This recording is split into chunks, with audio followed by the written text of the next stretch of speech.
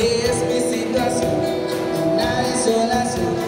Soy como un lamento de un boliviano que un día empezó y no va a terminar. Ya nadie hace daño.